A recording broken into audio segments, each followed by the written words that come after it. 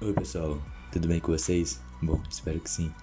Nesse vídeo eu vou ensinar vocês a finalmente a fazer aquela, aquela rodinha lá, um bagulho louco, eu não sei nem explicar como é que é, como é que é isso. Mas vamos lá. Eu vou chamar de Color Tunnel, né? Que é assim que chama lá no vídeo está. Graças ao amigo Rick que me disse qual é o nome disso. então, vamos utilizar o PixArt eu vou ensinar o primeiro método, que foi a primeira vez que eu vi e eu já fiz.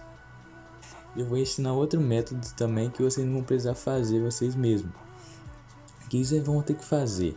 Vocês vão vir aqui embaixo e vão escolher qualquer um desses fundos. O bom é isso, que você tem uma diversidade, ok? Vamos clicar aqui, sei lá, no amarelo. A gente vai clicar em ferramenta, recortar Vamos clicar em história. Agora com ele bonitinho aqui, a gente vai clicar em mask forma. Vamos clicar nele e ó, já, já vem a bolinha né, certinho aqui. A gente ó, vai, pode aumentar a opacidade ou não, ou trocar também, inverter aqui ó. Então a gente vai inverter. Esse botãozinho aqui ó, tá um, umas duas setas, ok? Clicamos em cima, tá show e você vai deixar a opacidade no máximo. E a gente vai ó, puxar essas duas setinhas aqui ó. O máximo que a gente puder. Show. Ok? Clica no ok aqui em cima. E clique em salvar nessa setinha de baixo. Tá show já salvou. O que, que você vai ter que fazer agora? Vai voltar. Vai clicar em mask forma de novo. Vai clicar em inverter vai deixar a opacidade no 100, vai fazer a mesma parada, só que em vez de deixar daquele tamanho, você já vai diminuir um pouco. Ó, já deu uma diminuída, ok? E você vai fazendo isso. Salvou, voltou, clica lá de novo, inverter, opacidade 100. Aí naquele lá tava mais ou menos aqui, né? Aí já vai deixando menor um pouco. Isso significa que a gente está criando o nosso próprio Color Tunnel, né? Que é o nome disso.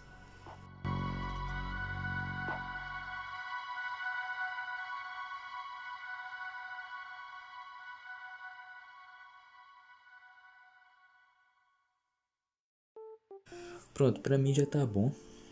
Agora a gente vai lá pro CapCut. Aqui no CapCut a gente vai clicar em novo projeto, fotos, e vamos selecionar cada um daqueles lá.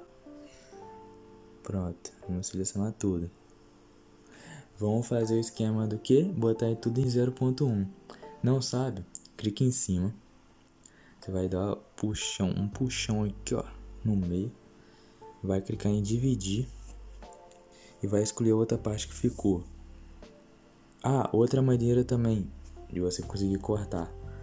Você vai selecionar a foto Vai pegar esse tracinho branco que é o meio cinzento. Você vai ó, puxar ele. Ele vai diminuindo. Pra você ver o número certinho, é só você aproximar de novo. Aí deixa em 0.1. Vai fazendo isso com todos. Pronto, olha como é que ficou. Ficou meio merda porque eu fui fazendo, né? Na hora que esse aqui ficou meio, meio redondado. Mas é bom que fique sempre assim, ó sem dar esse, sem ele ficar redondo, ok? Aí ele fica mais ou menos assim. Eu vou até excluir essa parte porque eu achei meio feio essa parada. Aí ele ficou assim. Ele vai fazer? Clicar em salvar aqui. Exportar. Clicar em efeito. Você vai pegar o vídeo, né? Que ficou.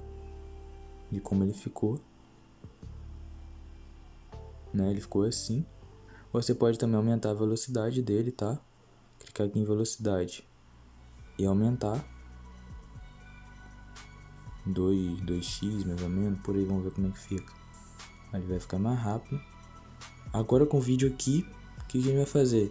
Aí ele vai clicar em camada, adicionar camada, vai selecionar um vídeo, uma foto, qualquer coisa que você quiser.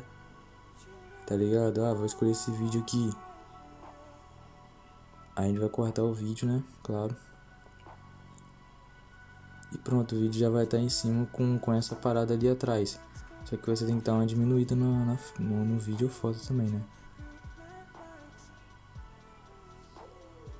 Foi assim que eu fiz, pessoal, naquele, naquele Lomotif tá brotando no plantão. Desse método, esses métodos que vocês pediram, né? Então eu tô trazendo esse método aqui, mas eu também vou trazer outro que também é bem, é bem mais fácil que esse, pra falar a verdade. Muito mais fácil. mas espero que vocês tenham gostado e vocês vão poder criar o próprio Color Tunnel de vocês, né? Espero que vocês tenham gostado e até a próxima. Não deixe de deixar seu like e se inscrever. Beijo!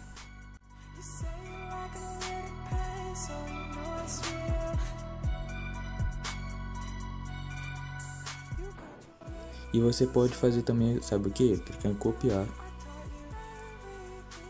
e clicar em reverso. O cara vai ficar repetindo toda hora.